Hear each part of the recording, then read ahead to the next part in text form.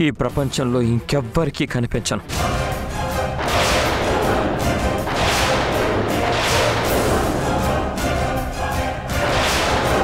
కనీసం నీ కళ్ళ ముందు కాలిపోయే నన్ను చూశాకైనా నా ప్రేమ నీకు అర్థమైతే నాకంతే చాలు.